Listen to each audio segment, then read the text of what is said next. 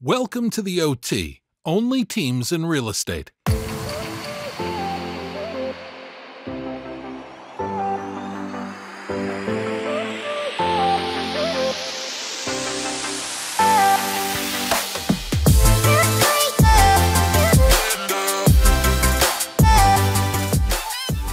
don't look at production, I look at effort more than anything. You know, because I have newer agents.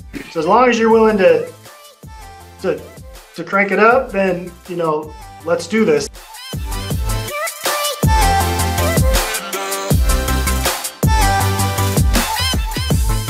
Here's your host, Daren Phillipy.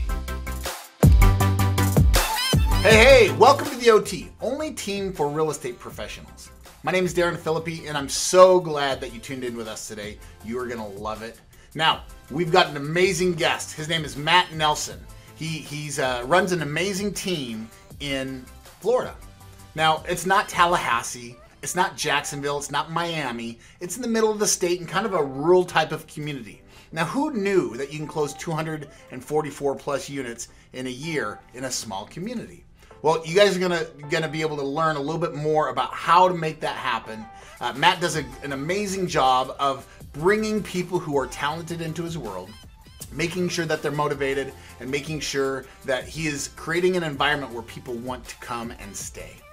So this is what I want you to do: grab a notepad, sit back, relax, and take tons of notes, and you're gonna love what you hear today. So I will see you guys at the end of the OT.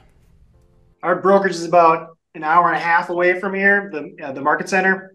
So we kind of um, operate slightly autonomously. I mean, they they do help us a lot, obviously, um, but we're like on our own little island out here. So I have my own front desk person. We have you know I have a director of ops and transaction coordinator and um, another admin um, for that transaction coordinator, um, and then um, we have about you know 11 agents on on my roster you know unfortunately i have like probably six that do business. The some four kind of uh, you know waving in the wind a little bit.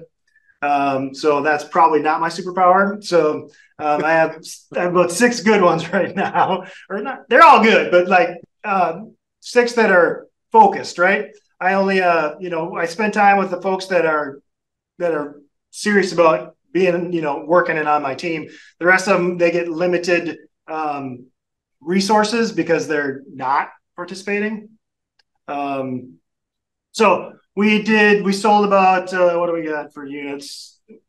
Like 240 some units over the last year. Like, so we were like 262 last year and we're not on pace for that this year. We're at like 184 for the year.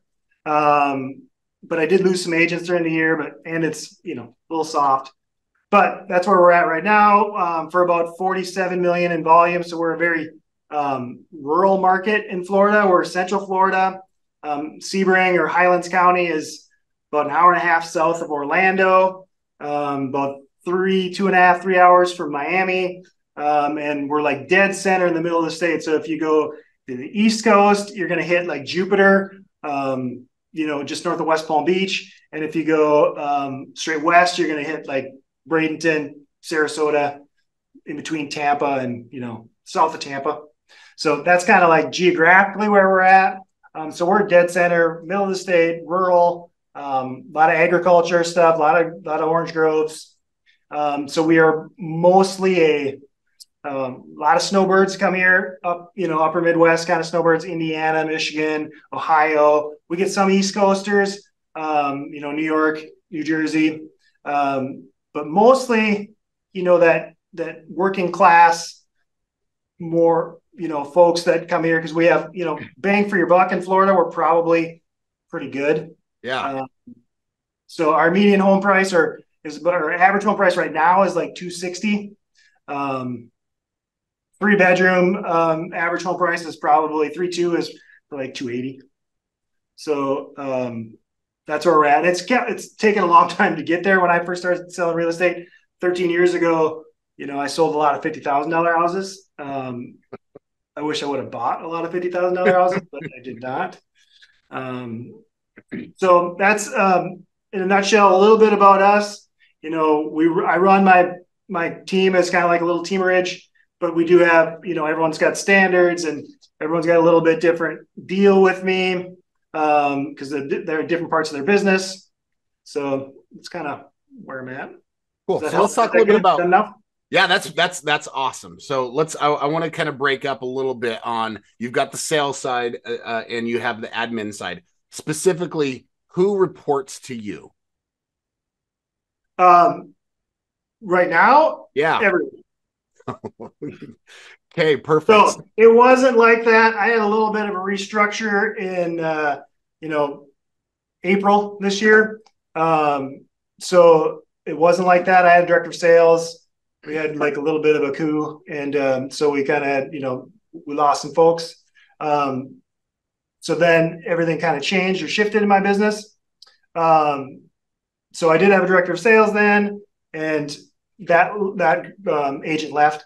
Um, so I kind of took the reins on all that.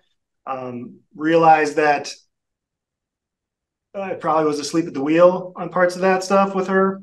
So um, just taking more control. Now, am I trying to get to a point where I'm, you know, not everyone is reporting to me again? For sure. I mean, obviously, my the the two front desk and my other admin they don't report to me. They report to my transaction coordinator slash ops director, my wife. So, I mean, I don't get all that, but I hear all of it. So yeah, sure. um, it's kind of like they report to me. Let, let's talk about you. You said you said you kind of fell asleep at the wheel. Tell me more about that because I think a lot of times rainmakers um, like we've talked and you said I was kind of seventh level. Like I was doing my thing, life was good, and all of a sudden the market kind of changed and team things changed, and you've found yourself back into the game. What? Yeah, what when when, I, about- when my director of sales left and stuff, I just decided that um, it just made sense for me to get back selling, and I hadn't sold for probably four years. Um, I was just running the team um, so that was a little bit of shock to my system. I was a little nervous to go back and do that because it's, you know, I was afraid that everything I was telling people to do or training them how to do and and asking them to do, I didn't, you know, you kind of have that little thing in the back of your head is like, can I still do this?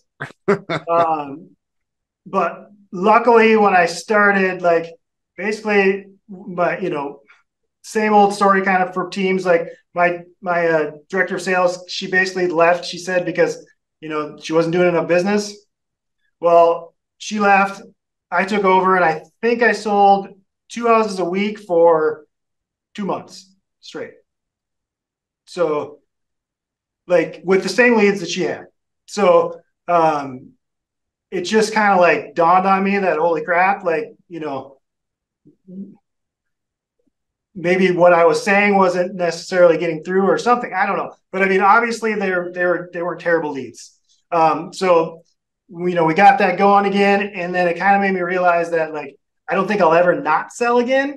Now, you know, I might be very cherry picky, you know, I might be cherry picking a lot, but like I'm never not going to, you know, work with a buyer. I'm never not going to work with a seller again. I just don't think it makes any sense. Um, from my experience, it's just it, it made me so much more grounded in what you know what we're doing, and then and then the conversations were better with my agents because they were maybe fresher, and I wasn't kind of maybe repeating myself. I could draw off of you know some other conversations I was having. So maybe I was becoming more. I think I felt like or feel like I'm becoming more in tune with, you know, really in tune with the market. I thought I was, and but maybe I wasn't, you know, knife edge sharp. Yeah, so, I, I, think that's super. That's that's amazing insight for those who are are seventh level or or bouncing back and forth between the two. Sometimes if you if you're not, um, I mean, from what you experience, I mean, you you've got to be checking checking in on a regular basis. Um, what what would you have done differently from from you stepping in and and you're like, I what could you have done to be able to catch that earlier I know that she up up and left, and that was kind of the thing. But how could you have had a better pulse on what was going on? I think just staying, you know, working with some buyers and some sellers.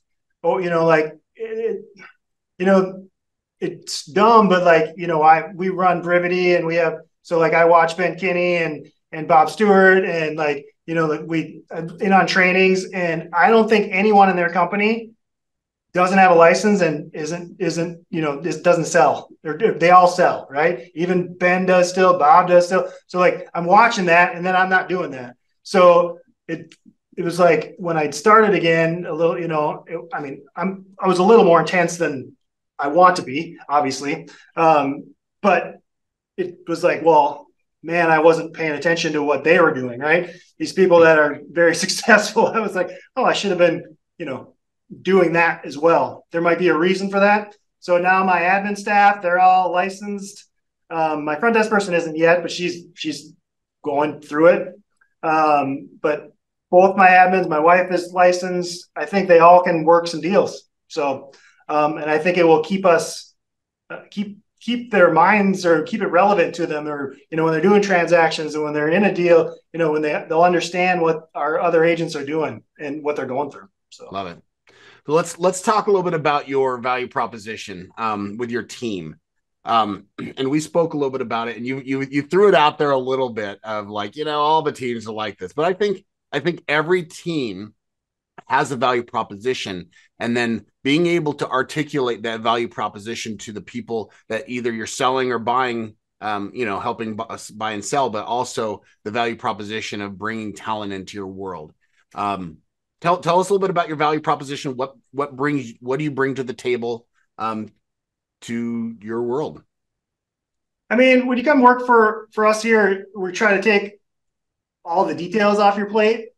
Um, you know, they get transaction coordination. We have admin support that you know, it's if as long as they use it um, and lean into it, they really don't have to do a whole lot of that stuff.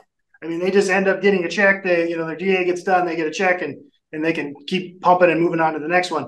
So my, you know, I really want them to be able to just focus on, you know, doing what they the activities they need to do to, you know, churn business out. Um, and then along with that, um, you know, I do some weekly coaching and you know, like we just basically stay on top of accountability. We do, you know, we have contests and all that kind of stuff that, you know, most teams have. Um, you know, I think the difference, probably a lot of difference between teams is, you know, like how they attract people. I mean, I think that, you know, people are attracted to the, to the team leader or what, you know, like, so, I mean, however you come across to folks and how you connect, um, you know, we have a lot of, it's not anything against them, but we have a lot of, uh, you know, 50 to 65 year old ladies, maybe even 70 year old ladies that are selling real estate in our market um, they don't work for me. Um, not that I, you know, I have one, but but like they don't because maybe I don't connect with them enough, you know. So I have more, you know, my my folks are more, um, they're younger, um, and they're, you know, well, we have quite a few, we have ladies, but uh, you know, they're younger. I try seem to I seem to attract the younger crowd um, in our market. Um, so we have a Spanish speaking agent, which is super important. I wish I had two or three. Um, but yeah, that's we call them. Uh, my coach and I call the ladies that I don't really recruit very well the uh, the Cabernet crew, maybe you know the. So I mean, there's Berkshire Hathaway uh, brokerage in town here, and they basically all work for them.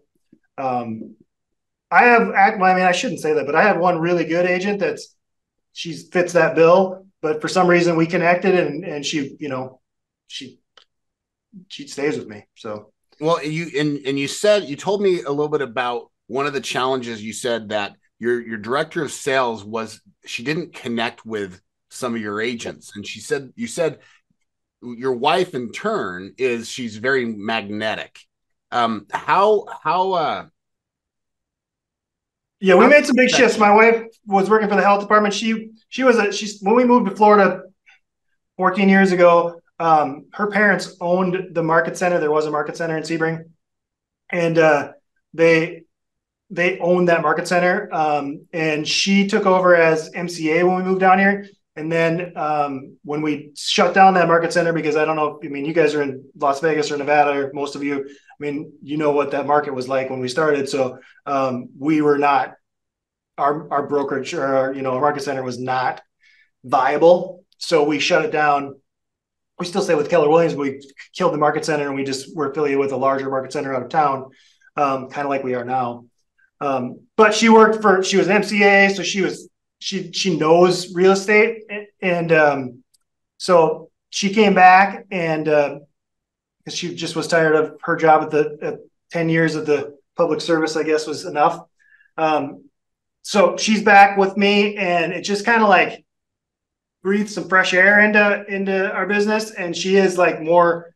She's more magnetic, obviously, than I am. I'm not super magnetic, I guess, but uh, um, I'm more blunt and to the point and kind of uh, you know face value. My wife is too, but she's like she just people like to hang around her. She's funny. How is how is that? And she'll tell you that. How is she's actually very funny. Her face looks fantastic.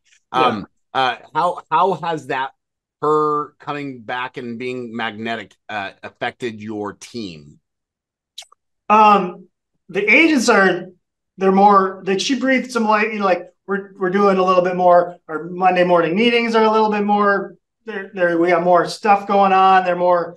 They're, she breathes some fun into them. We do some stats that are like we do some trivia for the local stats instead of me just droning on a little bit about them. And she like just kind of adds some flair to everything we do. Um, and then folks are like they, they enjoy um, you know being around more. And obviously, the more people are around, the more people are are together um, I think the better we do. I mean, when I have people in my op- get people in my office, um, when the team's all together, it just helps. Even though anyone can work, we can work from our houses, we can work from our cars or whatever. But it just it's nice when we're all together.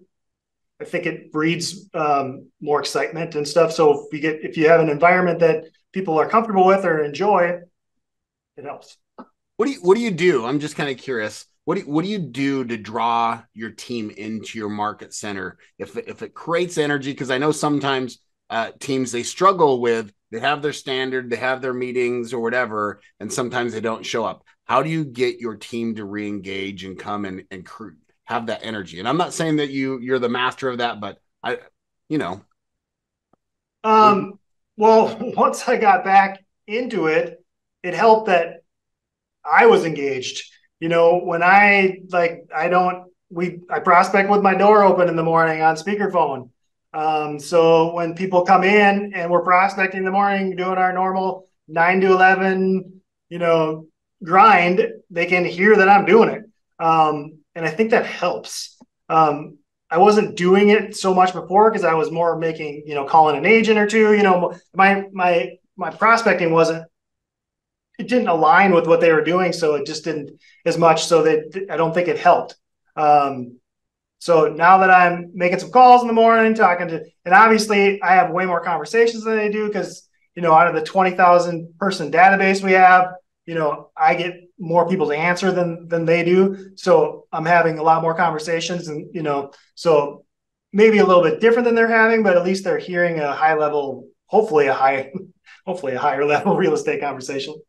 Okay. Uh, yeah. Love it. Well, let's let's go into uh, you teaching us some stuff. We talked yesterday about. Uh, I said, "What's your superpower?" And then you you said, the "Ah, shucks." Um, but we end up talking a little bit about you you negotiating and and the ability of you uh, being able to negotiate um, through um, through the process. And you said you have some techniques that help you win on both sides. So, could you share a little bit about that? Well, I started as a buyer's agent in a, you know, kind of a tough market, obviously.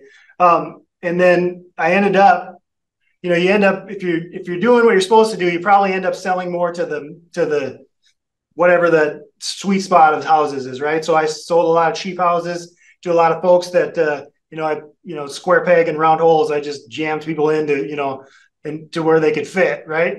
Um, and in doing that, I did tons of USDA loans. We're like, we're, we're agricultural here, so we can do that. But when you're writing offers for, you know, zero down and hey, give me six percent seller concessions, and and you have to try to win deals.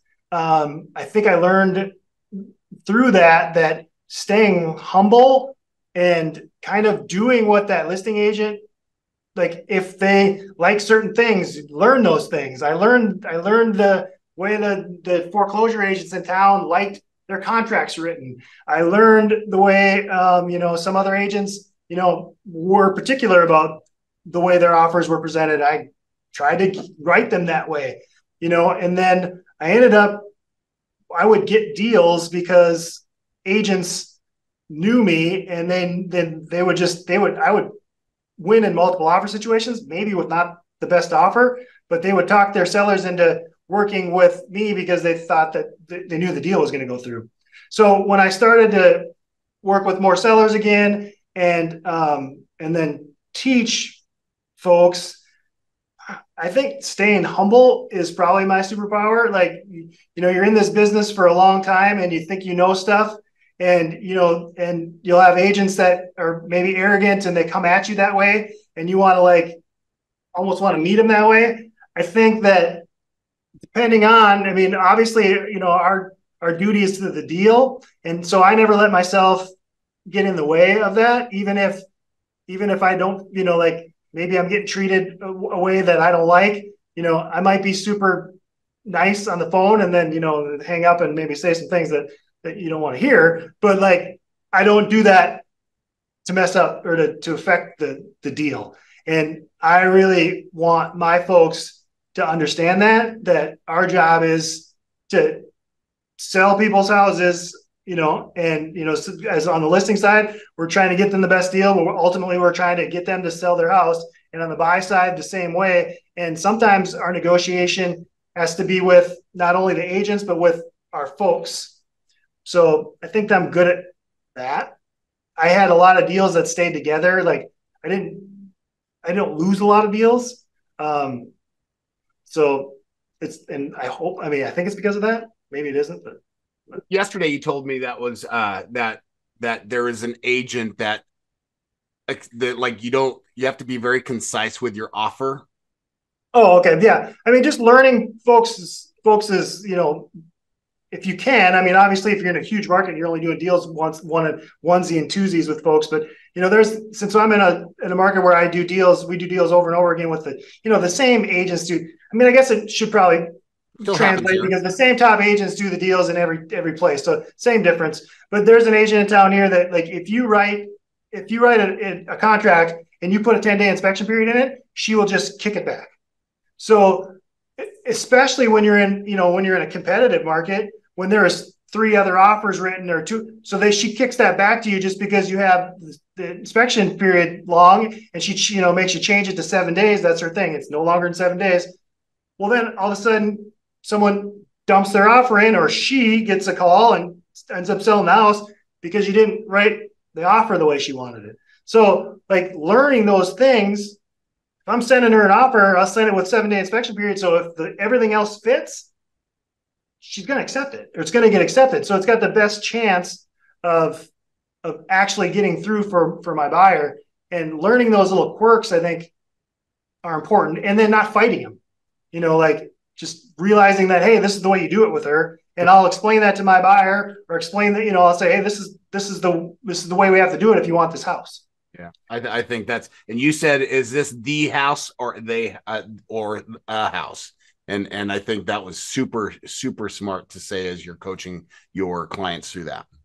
Yeah, everything is an A house or the house. Like when you're having that, so A house is just a house. Like you can write an offer on it, and if you don't get it, you're not going to be too heartbroken. Mm-hmm. But if it's the house, okay, well then we then we better write the right offer, right? We better write with the right inspection period. We better write it with the, at the best price you can write it at. We better, you know. So A house or the house is a big conversation around here. How, how did you? Uh, uh, is it just reps by learning the quirks of the other producers that you're writing offers with, or or were there things where you were able to ask them like, "Hey, how do you want this written?" or whatever?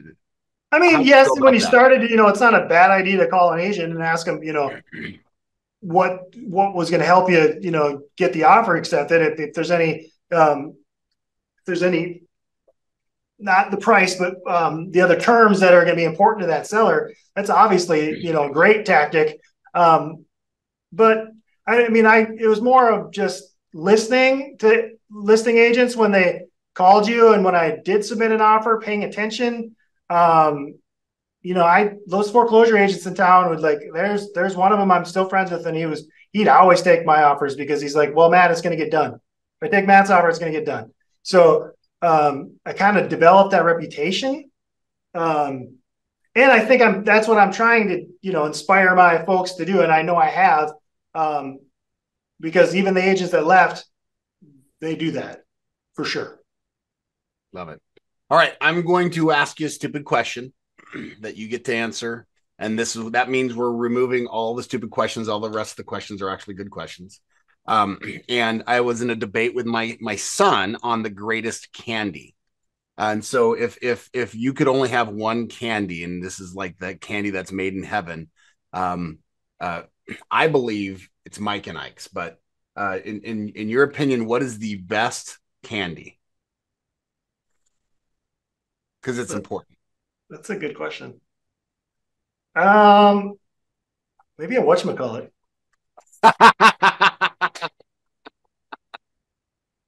I instantly think of my brother on that one. It's we used to, you know, ride our bikes to the to the market and it was like 30 25 cents back in the day. Um what's it call it? Peanut yeah. butter and rice. Yeah, it's, yeah, it's like rice. It's almost like Rice Krispies or something. I don't know what it is. It's well, like, now I'm sorry that was the wrong. Either answer. that or a fun dip. I think we got those for like 10 cents from the fun dips. Fun dips are awesome. Okay, cool. All right, so what what uh, what the next 10 minutes what I'm looking for is uh pointed questions specific about his superpower, not any challenges yet. So if you have any questions on negotiations, or or tactics there. I'd love to see if there's any if, if any of you guys have any questions on that before we kind of broaden broaden the topic there. So if if you have a question, I'd like you to raise raise your hand in the digital hand. Great job, Elizabeth. I'm going to go ahead and uh, ask your question. Go ahead and go ahead and ask it, Elizabeth. So, Matt, I heard you say you're using the platform of Brivity and you've got a database of about 20,000 contacts in it.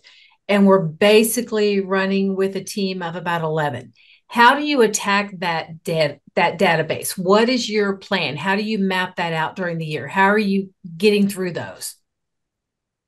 Um, well i didn't mention that i have two vas so i have two virtual assistants through brivity. So they kind of like 30,000 feet watch it you know they they look at the stuff that's you know they they try to pick off the stuff that's speed to lead stuff um, because I don't think myself or my agents always hit the speed to lead stuff um, as fast. So I have them kind of like scanning that thing all day um, and kind of picking those off. Um, but the rest of it is like, I mean, I have lead ponds that I'll give agents access to, um, but they have to earn that a little bit. Like you know, if they're not getting, if they're not participating as much as I think they should, or you know, like or to our standards, like putting their stuff into Sisu and and doing, you know, you, you know, and participating like at a high level, um, then I don't really give them access to all that stuff, or I'll, I'll turn them off. Um, they have to earn the they have to earn the right to play. What? They have to earn the right to play. Yeah, a little bit. Yeah. I mean, they don't. I mean, I'm not talking. They don't. Have, I don't look at production. I look at effort more than anything. You know, because I have newer agents. So as long as you're willing to to to crank it up, then you know, let's do this. And like, and if you start with me, it's a little. I mean, I don't tell people this, but it's a little. I mean, I tell them it's gonna be hard work, but like, um, you know, I'll ask them to put. Well, the last girl that started with me, Amy, she uh, she's not local, so unfortunately, she doesn't have a huge database to dump in. You know, I, you know, obviously, I'd like them to dump 150 names in the in in when they first start. But she's not local. She's been here two years, so she doesn't, you know, have that. I mean, obviously, I told her to put wherever she came from. Those people count too. But so she doesn't have a whole big database to call. So I couldn't really gauge on if she was, you know, putting in effort because I, I wouldn't get the call numbers. So she came in on a Saturday and I put her, you know, I slapped, I, we were, you know, we, she was going to do an open house and, uh, you know, I put her on a dialer with 200 names and said, call it. Right. And, uh, and then she got ripped through that. And then I made her call another chunk of folks. Um, and just because I was like, you, you know, you're going to swim or, you know, whatever, you're going to sink or swim. and she stepped up and started. She actually did the calls and listened, and so like those things I've been doing when we have new people start. I thought that, that kind of that was just basically, hey, you're gonna we're gonna do this, and I'm gonna put your feet to the fire and see it, you know, see how you react. I mean, I'm not saying I would have asked her to leave that day if she wouldn't have done it, but like, you know, I'm glad that she did. And I've been doing that with the, so then I kind of took that and I went back to some other folks that have been with me for a while. And then I, I did the same thing with them. So. Love it. Great question, Elizabeth. Oscar, go ahead. Thanks, dude. Yeah. Hey, Matt. Um, nice meeting you. Yep. Uh, thank you for sharing with, uh, everything that's been working out for you. I have a question in regards to the contest. You say you have contests for your agents. What does that consist of? What's the length of time? And then you mentioned at the end, it's not measured by production, it's by efforts. That's so good. Um, it's a little bit different all the time. Like I have a Sherry knows, but um, I have a bag of junk that I kind of junk. I take stuff like I, I was cleaning out my um, closet one day or a couple of drawers, and I had some goofy crap. Like I had a bolo tie that I wore in a picture in, in, high school, and like I had like all kinds of stuff. So I will like give that. I will like I have a prize bucket, and like if we do when we do a, a weekly contest, they'll get to be able to whoever wins, they'll be able to pick a trinket out of my. You know, there's a I don't know. There's all kinds. There was like a there was a camera in there, like a old school like a instant camera in there, and there was, you know, like I had old ties. I used to be an Edward Jones guy, so I wear a tie every day. So I have like a closet full of ties. So I brought in like the ugliest ones I could find, and like I don't know, goofy stuff. So I always have some goofy stuff like that, and then we do some longer term, like you know, like giving away ticket to family reunion, or you know, and have a three month contest around that. Um, ticket and airfare to family reunion, um, or you know, we've done a couple things kind of like that, mega camp, kind of things like that, or or for money. The money doesn't do it as much. The money doesn't do it as I mean, like I don't know. It just doesn't seem like it's a it's a big draw. Right, and how do you measure the efforts, or like who gets first place, who gets second place, or are you just doing Sisu, it randomly? So it's see, we they have to put their Sisu is. I mean, obviously, it just I, you probably all know that what that is, but it's a tracking like it's just it, where they put all their you know they put all their contacts their conversations their you know their emails texts whatever they did they have to they have to input stuff. I wish it talked better with brivity but none of that stuff talks right so they have to input they have to input more manually than i would like but i haven't really found a good way to get around that. Um, or system. Like I guess Brivity is supposed to go that way, but uh, you know they don't. You just never know. But yeah, they have to input manually. If they don't input it, they don't get credit for it. If it's not on my screen, they don't get it. Right. Awesome, awesome stuff. Great question, Oscar. Hmm. Uh, Ivy, you're on mute. Hi, sorry, I didn't find my mute uh, thank you, number one, for coming on here and having this conversation. And I kind of missed a little bit, so if I'm going to be repetitive, please let me know. Um, I have two questions for you, though. One, you're saying that you're using Brivity for uh, two virtual assistants. Um, tell me a little bit about that, a little bit more in deep, because you said you have these guys watching it all the way through versus you using your agents or so, admin, I guess. Yeah. Um, I'm not on mute, just so. So I have two. I we've had virtual assistants kind of like for all the way, but right mm-hmm. now the last year they're I strictly they're ISAs essentially. Um, they're database database minders, um, and they don't. We kind of changed the way they set appointments. Even we set way more phone appointments than we do in-person appointments. I would love to set in-person appointments, but but I like I think that that's gets too difficult to set to get people to commit to come all the way in. So I try to get them to a point where they they they make an appointment to get them on the phone with our agents, so then the agents can kind of close them the rest of the way. So we don't they don't.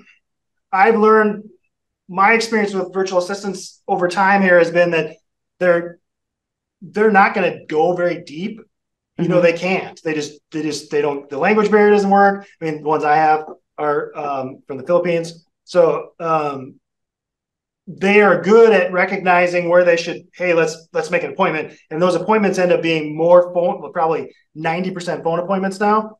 Um, and so the agents can make a connection with with the person as fast as they can.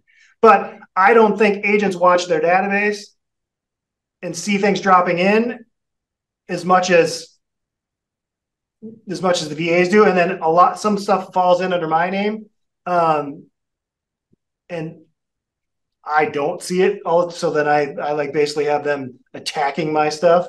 Mm-hmm. Um, and I I've, I've gotten a lot of pushback from agents sometimes over the years that like they don't want those people talking to their folks, and um, just because they get nervous, they all they get confused, and I call BS on that. Like it doesn't like I have them just attack the hell out of the people that that come on mine, and I don't see any. There's no harm done. I've had them talk to clients. I mean, I've had them accidentally talk, not accidentally, but call talk to like clients that have known me for a long, long time, right? And they act talk to them like they like they've never like like they've never talked to Keller Williams before and don't know anything about us, and it it hasn't hurt me. That those those conversations never hurt me. So, because you call them up and you go, "Hey, I have," you, I laugh about it to them, and I go, "You know, I have I have attack dogs, so I'm sorry they attacked you." yeah. No, no, totally understood. Okay, and so my other question would be when it comes to attracting talent, right? Um are you primarily looking for talent or I guess it's kind of a part 1 part 2 question. But how are you finding talent, right? Like are you prospecting for talent? Is the are the team leaders helping you? Are you advertising? I mean, what are you doing to attract talent to your team?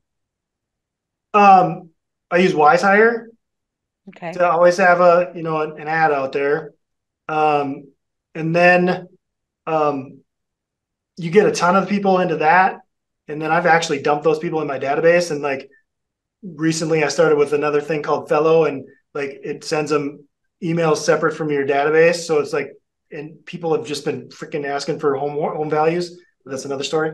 Um, but um, so I used WizeHire a little bit, and then um, you know, just we have a small like for attracting like folks that I attract a lot of new folks, um, and then we have a lot of you know, like a lot of people that you just know. I mean, we're we're a small market or small. Uh, small board. You know, we have less than mm-hmm. 500, probably 250 oh, to 300 okay. people on yeah. our board.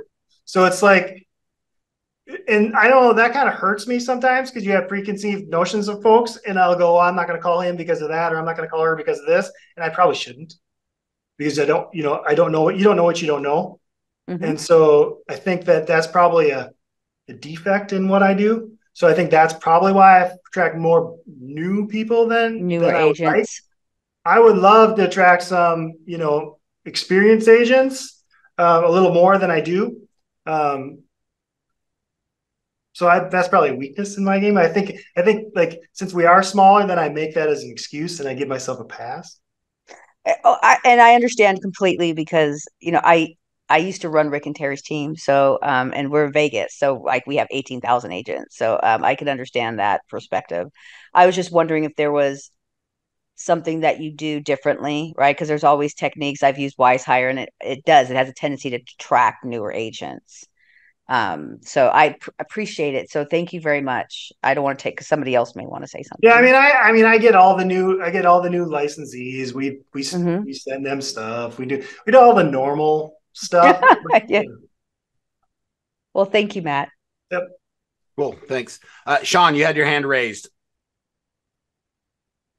I did. It, I mean, uh, Ivy was asking about it because I was curious about your uh, your recruiting efforts and what that looked like. And but what is your what's your expectation going into next year? Do you have an expectation to grow the size of your team? Are you looking to get back to where you were? And if so, what are the? I mean, is that just is it just something you're going to be working on or doubling down on any particular efforts that way? we were never really, I mean, even when I lost a few agents, we were never really huge. We were like less than 15.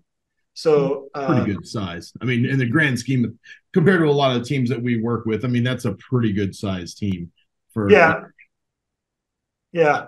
Don't beat, uh, don't beat yourself up.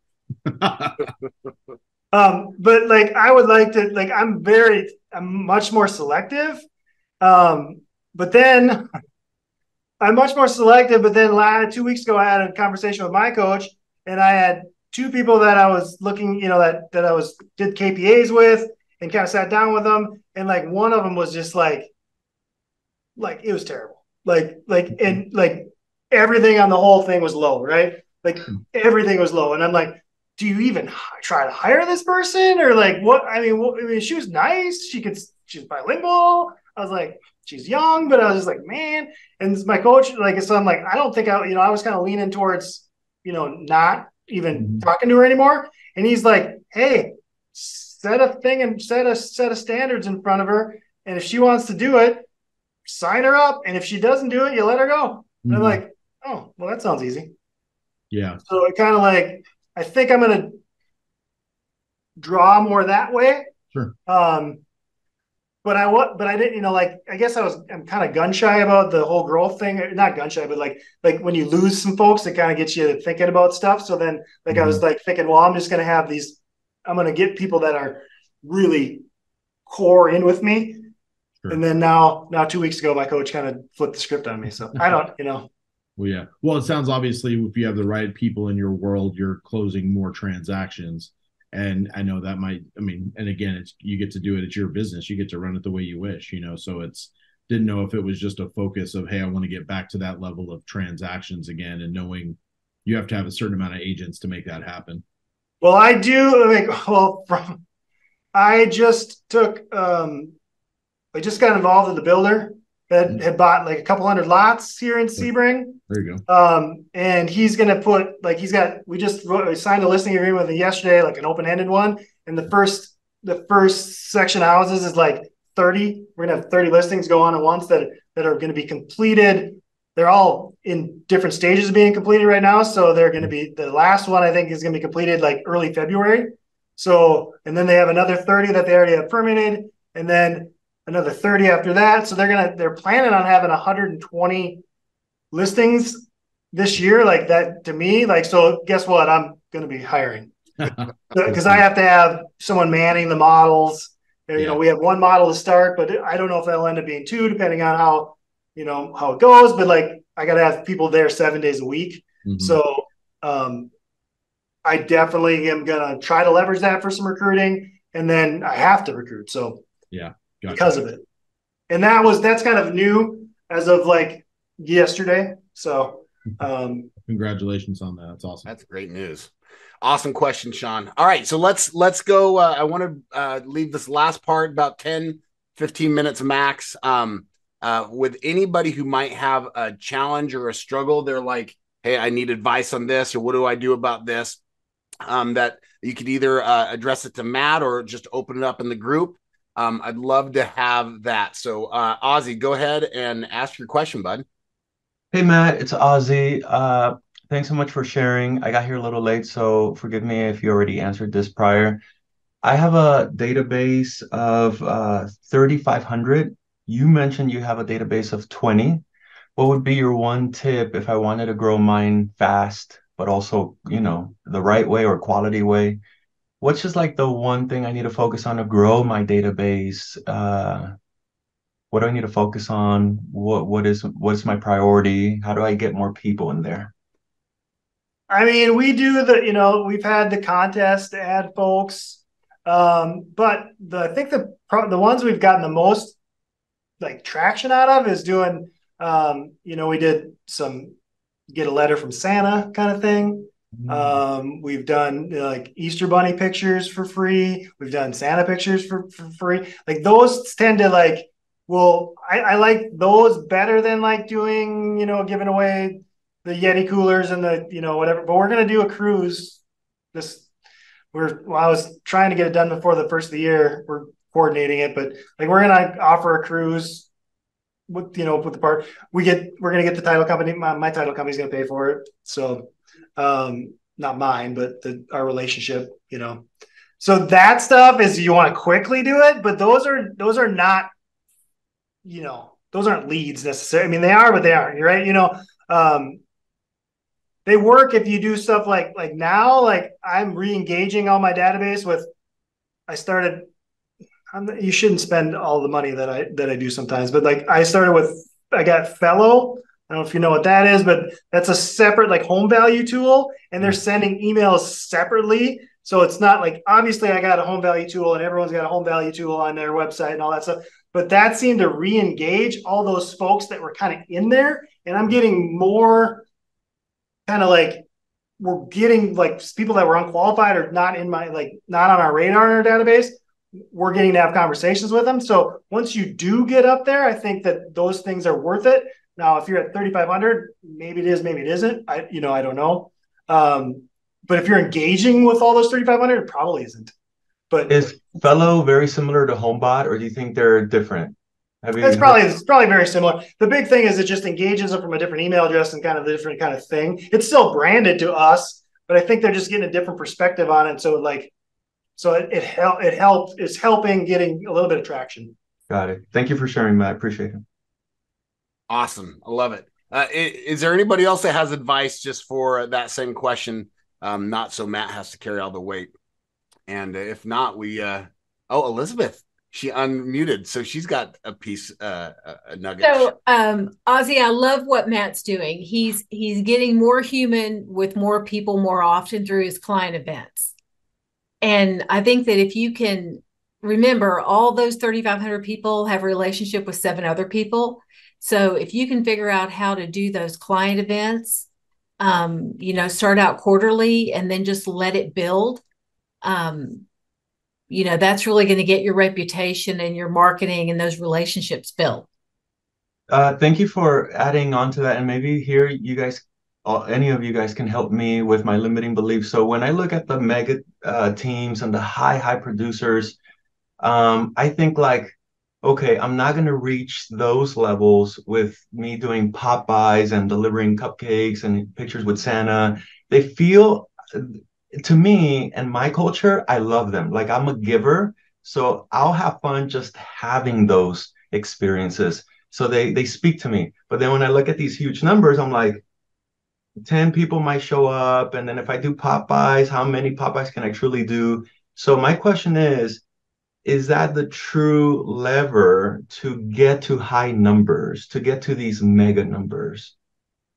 You, you like it's not like we went from zero to 20,000 in like a year. You know what I mean? Like you, you do those little, you know, you doing a, you know, collecting hundred here and 50 there. And, you know, they kind of just like organically grow if you do some of those things and it, it'll, and all of a sudden then you're at that number. It's kind of like, it's not like it happens overnight, you know, and we, you know, we did do some stuff with my former partners during COVID, you know, like we, we lucked out. We did like did a movie, we did a drive-in thing, and you know, you had we had a bunch of people come to that. So like you kind of lucked out like on some of that stuff.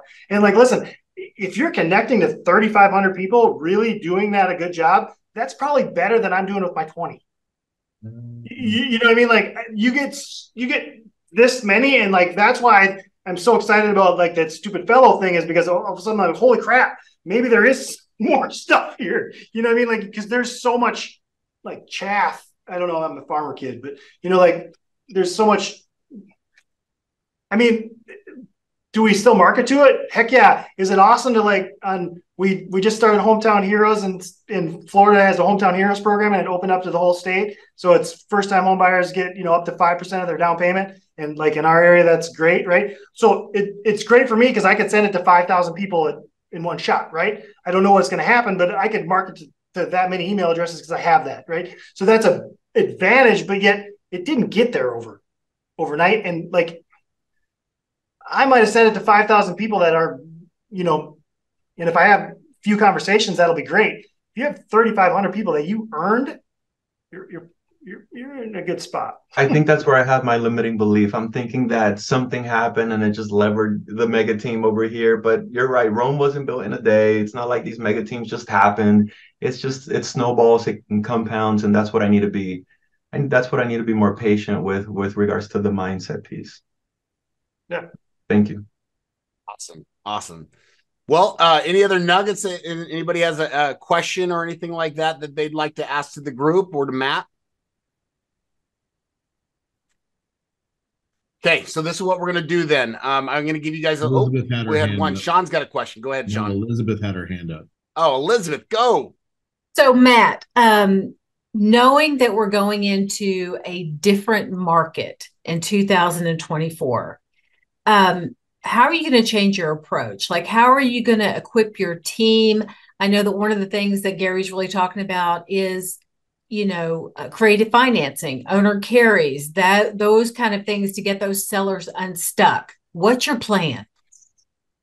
Yeah, haven't we're I mean I've been thinking about that a lot lately, and we actually talked about that yesterday a little bit with uh with Daren, but um basically having those conversations with sellers about no, not a market that's going like this. You know what I mean? Like a market that's maybe like this and going like this a little bit. So when your price actually have to sell your house, you know, we haven't talked about pricing your house to get ahead of the market, you know, maybe even flat or like less than what the value is. You know, you go in with a CMA and you we're going to need to have i mean i have had a couple of conversations with hey this is where we're at but we're not climbing. It's not going like this. It's like more flat even down. So we can't price up here. Like you know like you did you'd walk into a listing appointment and you go okay well the value's at you know 260 and they go well can we list for 285 and you go okay. And then you know and if it's sold it's sold. If not you could you know you worked them down and had your old dialogues and stuff like that. But now we need to go in there and go well that's not the way it is. And when we're doing CMAs, you can't go back six months. You might have to go back three months or less, right? So, because those prices are going to screw up your values. Um, and I'm freaking out a little bit because my listing agent that does the bulk of the carry around here, you know, he does over, you know, he's two years in the business and he's done 100 plus, you know, deals himself like a year. He hasn't been in that market he isn't so we're i'm trying to have those conversations with him now and hope that we can you know like so i'm a little worried about it. So dialing those things up um, i'm talking to our agents about we're kind of the wild west so we don't do we've never really we've had loyalty agreements that i have with my buyers folks you know that that i wrote when you know 13 years ago when we start when i started this so they're like they're not legal by any means and they don't say that we're gonna they don't say that the that you know you're going to pay me even if the cooperating broker is not going to pay me anything you know? So we've been trying to get ahead of dealing with buyer broker agreements and learning how to how to present those that aren't just our loyalty agreement. They're like got some teeth to them um, which i think is going to be a huge deal that we haven't done. So some states are they have those they're good at buyer brokers and things like that. We're the wild west here. You can just people just run and scurry and show houses and pop tart which drives me crazy, but that's what you know we do. And then it's going to come to bite us in the butt if we don't start to if we don't you know start to learn those skills. And so yeah, I'm I'm thinking about all those things. Awesome. And we're trying to talk about trying to get ahead of them, but if we are, who knows? They're definitely on the radar. Good question. Thank thanks for asking that, Elizabeth. All right. So, uh, Matt, dude, you are awesome. Thank you so much for taking the time and, and hanging out with us and sharing your nuggets. Um, uh, I wanted to ooh, look at Ozzy's clapping for you and stuff. Uh, a couple of key things before we sign out. The first thing is I'd like you guys to to make sure you register for the Facebook, uh, the the uh, only teams Facebook. I'll only let someone in if they're a, a team leader or if they have uh, a team uh, where I'm trying to keep it so it's higher level conversations. It's a place where eventually you guys will be able to mastermind and come with questions and, and things like that. Um, so go ahead and uh, uh, ask to be a part of that.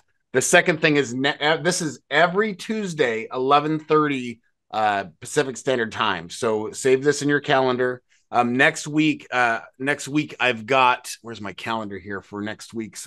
Uh, I've got um, uh, here she is. It's Trey or he. It's Tracy Ellis.